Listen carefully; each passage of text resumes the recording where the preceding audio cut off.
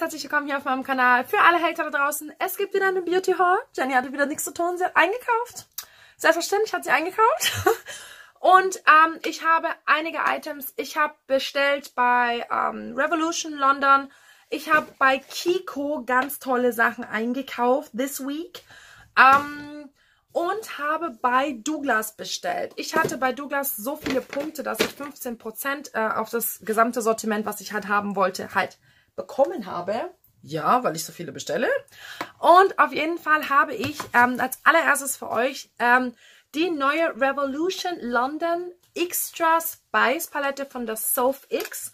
Ähm, ich hatte ein bisschen Probleme mit dieser Palette. Und zwar, äh, Victoria, Alida ähm, und ich haben bestellt und die kamen so an, Leute.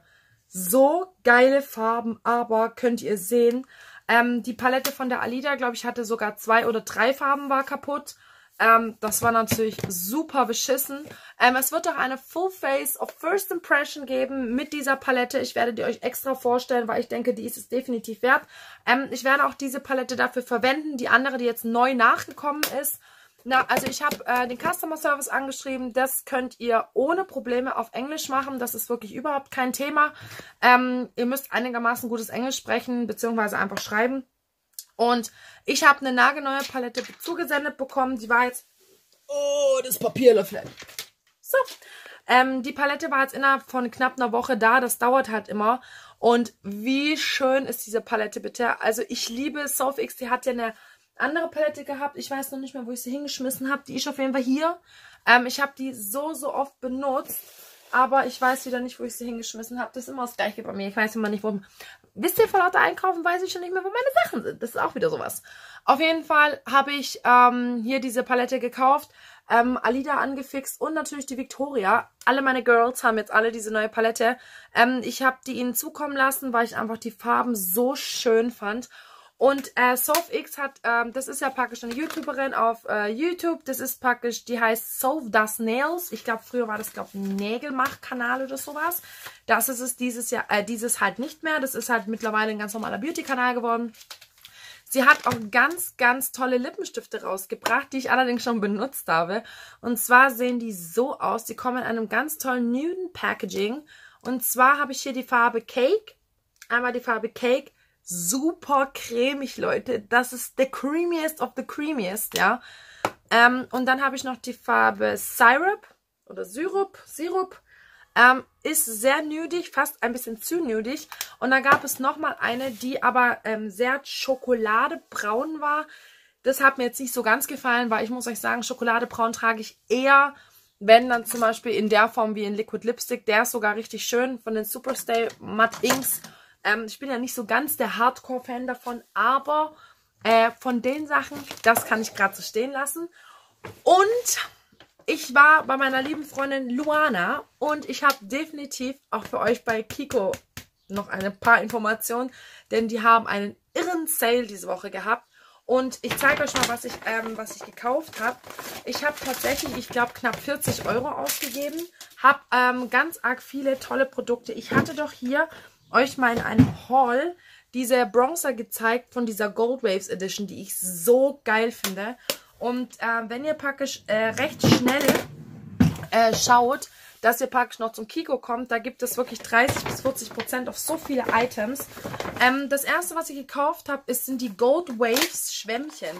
Und zwar sind das diese Schwämmchen, Leute, die meine Freundin, die Luana, hat die ähm, mit Wasser gefüllt. Die sind sowas von weich. Ähm, ich bin eh so ein Sacker für Schwämmchen und ich habe bezahlt statt 11 Euro nur noch 5,60 Euro oder so. Also das war ein echter Schnapper. Ähm, dann habe ich noch eines, einen so einen ganz normalen Fusion Lip Gloss gekauft und zwar in der Farbe 06. Der hat nur 1,75 Euro gekostet. Leute, das ist einfach nur so ein Lip Balm, den ihr einfach drüber tragt. Falls euch die Lippenfarbe gefällt, die ich trage gerade, das ist von Jeffree Star die Farbe Anna Nicole. So schön, nur ich müsste jetzt nochmal drüber gehen, damit es völlig opaque ist, aber wir haben ja keine Zeit. Und ich habe dann noch, also ich habe ziemlich viel aus den LEs gekauft, weil ich die ehrlich gesagt sehr, sehr gut fand. Ähm, ich habe jetzt hier, könnten wir mal das Packaging ansprechen. Dieses Packaging ist bei Kiko Limited Editions immer der Oberknaller. Und zwar ist es die Farbe 03. Das ist so ein ganz toller, also Luana und ich waren uns einig, das ist eine matte Formulierung. Das ist so ein Ziegelsteinrot, also richtig geil. Ähm, sehr, sehr selten zu finden. Also ich finde die Farbe sehr, sehr geil. Ähm, ich packe mal alles aus. Ich habe hab eigentlich nicht so arg viele Items dort gekauft. Aber die Items waren halt so krass reduziert. Ein Moment! Mir fliegt halt alles runter, Leute. Also die Sachen waren auf jeden Fall äh, krass reduziert. Ich habe von diesen Limited Editions nochmal eine davon von dem letzten Herbst gehabt. Die Lippenstifte sind super cremig, Leute. Und die matte Formulierung, also matt trifft's. Also sie ist nicht nur matt, sondern auch noch cremig. Unendlich cremig und auch so toll zu tragen. Und dann habe ich hier noch den anderen matten Lippenstift in der Farbe 05. Ähm, und die 05, da habe ich jetzt die Farbe, ist auch ein Matt Lip Stylo. Ähm, habe jetzt praktisch so eine Art Mauve-Ton. Hallo Husband. Hab noch so eine Art einen Mauve-Ton rausgesucht. Der ist richtig, richtig schön. So ein, so ein ziemlich pinkener. Aber davon trage ich eigentlich relativ... Er sah dem Calabasas, den ich von Jeffree Star habe, sehr, sehr ähnlich. Ähm, müsste ich echt mal testen, aber mich erinnerte die sehr stark daran. Dann habe ich noch ähm, die Farbe 07. Auch natürlich in demselben Packaging. Richtig schön und die sind richtig schwer, Leute. Das ist die Farbe 07 und das ist ein sehr dunkles ja, ich würde sagen, dunkler Bärenton. Hat mir auch sehr, sehr gut gefallen. Ähm, wie gesagt, die Formulierungen von Kiko sind sehr geil. Also egal, ob ihr jetzt glossige Lippenstifte nimmt oder nicht, sind alle richtig, richtig gut. Dann habe ich hier noch, ähm, hat Luana mir einen empfohlen. Und zwar ist es eine neue Farbe. Und zwar die Farbe, das ist ein Lip Stylo Rouge. Und zwar, Farbe steht jetzt gar nicht dran. Ich glaube, das steht hier dran. Ähm... Da seht ihr praktisch die Farbe hinten auf dem Packaging. Das ist ein ganz schlichter Lippenstift. Da habe ich aber einige von und die sind, wow, der ist ultra. Der ist cremig, das ist so ein richtiger creamy Lipstick, aber der ist so pflegend und so satt von der Farbe. Seht ihr das? Ähm, das ist auf jeden Fall eines der Matt Lip Stylos und der hat mich nur 3,45 Euro gekostet. Dann habe ich mir von der Gold Waves Edition noch ein Lip Oil mitgenommen. Das fand ich richtig, richtig schön.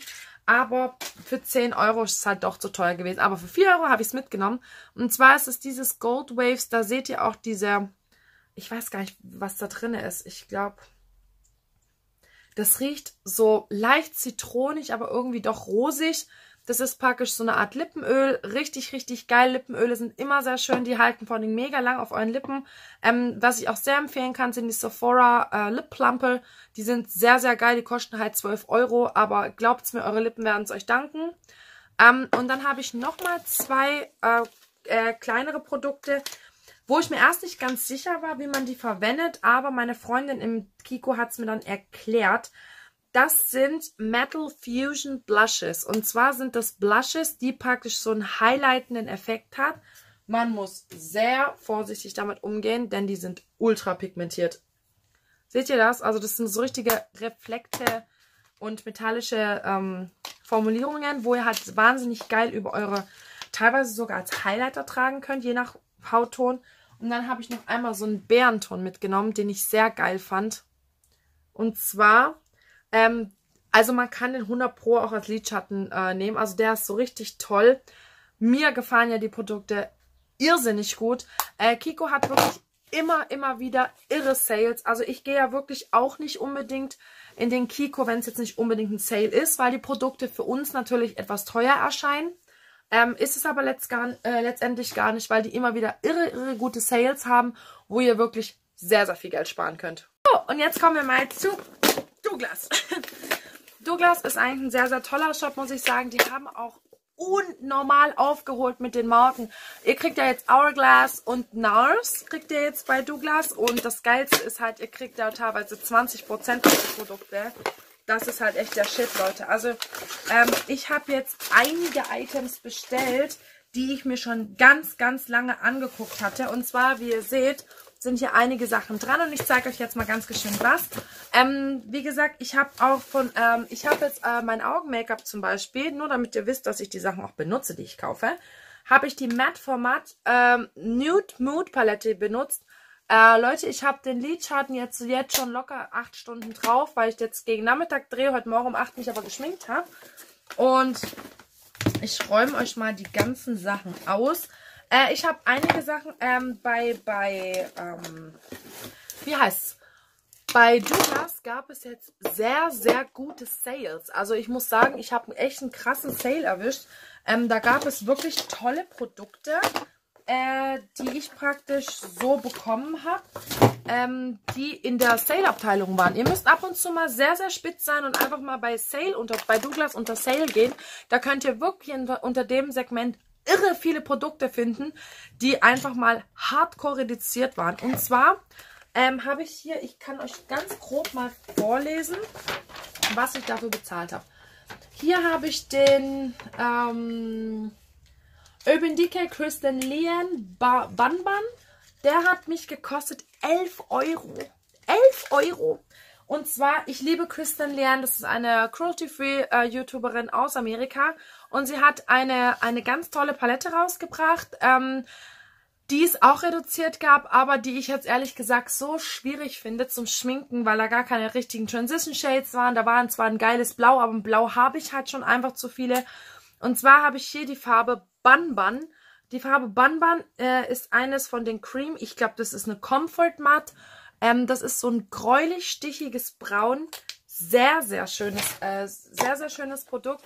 Und ähm, da könnt ihr wirklich mal gucken. Also im, äh, ich gucke ja nicht so häufig. Ich gucke ja oft lieber in die Neuheiten von, äh, von Douglas und gucke dann einfach mal, hey, äh, was, was habe ich dann praktisch dort verpasst oder so. Ich gucke täglich eigentlich mal rein, um praktisch nichts zu verpassen, weil die haben teilweise jeden Tag neue Produkte drin, was echt der heftige Scheiß ist.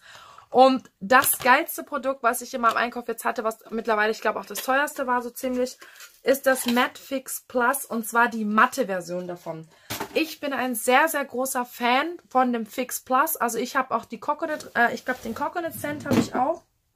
Genau, ich habe das normale Fix Plus und ähm, mag aber am liebsten dieses Coconut. Das, das ist jetzt locker ein halbes Jahr alt, Leute.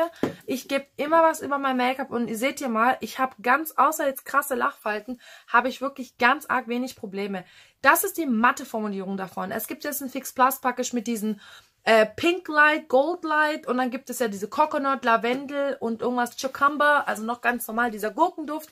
Aber ich muss sagen, dieses Fix Plus, ich war bei der Alida ja vor etwa ein paar Wochen, drei, vier, drei Wochen mittlerweile und habe dieses Fix Plus mit ihr in einem Kaufhof getestet.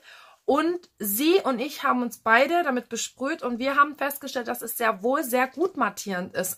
Und ähm, ich bin jetzt nicht der größte MAC-Fan. Ich habe ja wirklich nur zwei Kollektionen von der Patrick Star Collection, von der Floral Realness ähm, Kollektion gekauft. Die war wirklich, wirklich schön. Dieses wunderschöne blaue Augenmaker, was ich da gemacht habe. Ich war obsessed. Aber das einzige Problem ist, dass halt zum Beispiel mein Make-up, das ist wirklich, das ist ähnlich Problem. Also zum Beispiel Lidschatten würde ich niemals von einer Marke unbedingt kaufen müssen, die praktisch nicht cruelty-free ist. Das einzige, was ich mir jetzt tatsächlich gekauft habe, waren die City Mini Palettes. Die waren auch im, sind übrigens auch im Douglas online äh, zu kaufen und sind mittlerweile auch von 8,99 auf äh, auf 5,99. Hab mir die auch gekauft und die werde ich mal in einem Full Face of First Impression ver verarbeiten. Und auf jeden Fall habe ich mir dieses Fix Plus gekauft, weil, Leute, eine ganz, ganz krasse Empfehlung ist ja dieses Spray. Ähm, ich liebe das Prime and Fine von Catrice. Und zwar das Prime and Fine, könnt ihr das erkennen? Ich hoffe. Das Prime and Fine von Catrice Anti-Shine. Dieses ist praktisch in das, in das Standardsortiment gewandert, in die Catrice-Theke. Und ich habe das, ich habe mittlerweile, ich glaube, zwei Flaschen aufgebraucht und habe noch vier in meinem Backup. Ich benutze wirklich unnormal viel Fixing Spray. Ich brauche das auch einfach. Ich habe wirklich immer Full Face Make-up. Das heißt, ich brauche halt schon immer so eine Lage für Lage halt ein bisschen Feuchtigkeit und ich muss sagen, Fix Plus ist wirklich ein Essential in jeder Make-up-Sammlung und das solltet ihr euch definitiv einmal angeguckt haben. Dann habe ich äh, von The Origins. Origins hat, ist eine Marke aus Amerika, die ich immer wieder habe rüberschwappen hören. Aber ich kam irgendwie nicht so drauf und ich habe jetzt ganz oft gehört, ich glaube von I Love Sarahi, ähm, das ist auch eine amerikanische YouTuberin, da gibt es diese Ginseng Energy Boosting Gel Moisturizer. Und zwar ist das dieser hier. Ähm, ich habe gehört, dass der nicht nur abartig gut riechen soll, sondern auch verdammt gut für die Haut sein soll. Ich werde das jetzt mal testen. Uh, der riecht knallhart nach Orange, Leute. Der riecht so gut. Ähm, wow. Also das ist ein Gel Moisturizer. Ähm, ich habe ja auch diese Moisturizer von äh, Balea. Muss aber sagen, dass äh, ich für die... Wow. Das riecht so fresh nach ganz frischer Zito äh, Orangenschale. Das ist richtig geil. Ich stehe ja auch total auf diese Moisturizer. Dieses Ant äh, äh, Balea Feuchtigkeitsgel. Das benutze ich eigentlich als Make-up-Grundlage. Das ist dieses hier. Das Aqua Feuchtigkeitsgel von Balea. Das kostet euch, ich glaube, 2,75 Euro. Da habe ich zwei Stück zu Hause rumfahren. Ich wollte aber gerade für die Nachtschichten, einfach wenn ich mich abends abgeschwingt habe, eine Möglichkeit, wo ich praktisch mein ganzes Gesicht schön eincremen kann und es eigentlich immer schön feucht bleibt. Weil das Problem ist halt, ich habe halt auch sehr fettige Haut, die schreit regelrecht nach Feuchtigkeit. Nur ich kann natürlich nichts tun, wenn ich halt in der Arbeit bin. Da bin ich davon abhängig, dann praktisch wenigstens eine gute Creme dabei zu haben. Die ist nicht billig, die hat mich knapp 30 Euro gekostet. Mit den 15% war ich dann bei knapp 22 Euro oder so. Aber Origins, da war ich genau bei 25 Euro. Ich muss euch sagen, eure Haut ist das Wichtigste, was ihr habt. Da hilft kein Make-up, kein, äh, keine Puder, kein nix, wenn ihr keine schöne Haut habt. Und deswegen schaut euch einfach mal diese Creme an. Ich kann euch gerne eine Review darüber geben, wie ich diese Creme gefunden habe. Ähm, dann mussten natürlich drei meiner Camu Concealer von Catrice mit, äh, diese Liquid Camouflage Concealer. Ähm, ich weiß nicht warum. Ich habe jetzt tatsächlich, Leute, ich glaube zwei Stück in drei Wochen aufgebraucht. Ähm, ich habe bei Tati, bei einer YouTuberin aus Amerika gesehen, dass die einfach so, so die Dinger liebt, ja. Ähm, konnte das aber auch nicht immer ganz verstehen, weil ich dachte, hm, schwierig. Ähm, aber ich habe den für mich wieder entdeckt und benutze den jetzt unnormal gerne. Dann habe ich nochmal eine andere Farbe der Elf Flawless Foundation geholt. Ich war ja geschockt, Leute. Ich war ja im Müller. Und im Müller waren die Sachen vom, äh, von Elf sowas von arschteuer. Im, äh, zum Beispiel diese Palette, die Nude Mood Palette, hätte dort 17 Euro gekostet, Leute. Ich habe bezahlt gerade mal 8,90 Euro bei Douglas. Wartet einfach, bis Prozente sind. Ihr kriegt, äh, ihr zahlt ursprünglich auch nur 10,99. Und ich habe jetzt praktisch eine andere Foundation-Farbe geholt, weil ich hatte eine, ähm, die in der Farbe Alabaster. Die war viel zu hell und ich glaube, dass die da ziemlich gut ist. Und ich kann dann praktisch mit so ein bisschen Mischen und Matchen praktisch natürlich was rausholen. Dann habe ich einen Illuminating Face Primer, weil ich würde gern ein Full Face of Elf Cosmetics demnächst machen und zwar richtig Full Face. Ähm, ich habe allerdings auch schon ein Video gemacht, das verlinke ich euch natürlich unten in der Infobox, wenn ich es nicht, nicht vergesse. Und ich habe jetzt ein Illuminating Face Primer geholt, weil äh, äh, Primer sind jetzt nicht unbedingt das Wichtigste auf dieser Erde, aber sie machen gelb. Warum ist das so gelb? Äh, warum ist das so gelb? also das, also er fühlt sich sehr weich an, aber hat sehr grobe Glitzer. Na, da, äh, weiß nicht, ob ich den. Also das sieht ein bisschen, äh, bisschen sehr arg Gold aus. Da muss ich schauen, ob mir das gefällt. Ähm, ich kann natürlich nicht sagen, wie das auf der Foundation sich auswirkt oder praktisch wie das darauf aussieht. Das werden wir dann bestimmt demnächst zu sehen kriegen. Ähm, dann habe ich mir von meinen liebsten, liebsten Lippenliner welche mitgenommen. Und zwar sind das die Essence ähm, Draw the Line Instant Color, äh, die drehbaren äh, Lippen, äh, Lippenstifte, ähm, Lip Liner. Das ist die Farbe äh, Rich Mahogany. Dann habe ich äh, Head Tomatoes. Dann habe ich noch die Farbe Catch Up Red und die Farbe Fancy Blush. Also ich muss sagen, ich liebe diese Farben unnormal. Die sind so cremig, Leute. Also ich habe ehrlich gesagt keine anderen äh, Lip Liner, weil ähm, Lip Liner müssen bei mir keine 20 Euro kosten. Das wäre für mich ridiculous und da würde ich auch Kotzen kriegen. Und da da habe ich nochmal zwei der Sachen gefunden. Die habe ich bei Andrea Martilano. Das ist auch eine tolle YouTuberin. Macht auch tolle Reviews. Die hat die erwähnt, dass sie die unnormal schön findet. Und ich bin halt dieses Jahr noch zweimal mega weit unterwegs. Das heißt einmal nach Berlin und einmal nach Hamburg. Da will ich jetzt ehrlich gesagt auch nicht meine riesen Paletten mitnehmen. Das wäre mir jetzt ehrlich gesagt auch ein bisschen too much. Und ich habe mich jetzt... Wow. Äh, ich habe mich jetzt für zwei der Kids entschieden. Ähm, es gibt auch nur zwei. Aber weil ich ja nicht normal bin, habe ich beide gekauft. Ähm, da kostet ein Kit 6 Euro, Leute. Und zwar, das ist hier die Farbe Fiji. Das ist praktisch so ein, das ist ein matter Bronzer und ein matter, sehr cooler, bräunlich-peachiger Blush. Und dann habe ich praktisch die ganze Sache in St. Lucia.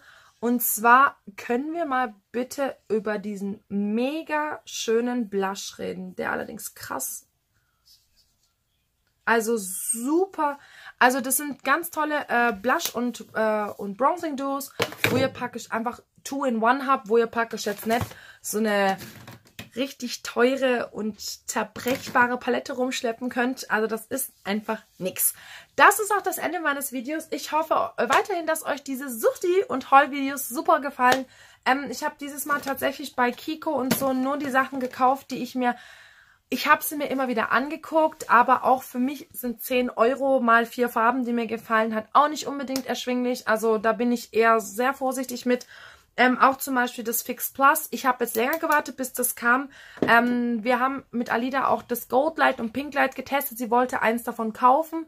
Sie ist dabei aber geblieben, dass sie keins der beiden kauft, weil wir halt gefunden haben, dass das Glitzer überhaupt nicht rausgekommen ist. Und ich muss euch sagen, so Glitzer im Gesicht, das schaffe ich dann eher mit dem Bronzer auch. Und ich hoffe, dieses Video hat euch wahnsinnig gut gefallen. Lasst mir gerne, gerne einen Daumen nach oben da. Und erfreut euch weiterhin an meinen tollen Holz, denn das kann ich euch sagen, diese sind für sicher.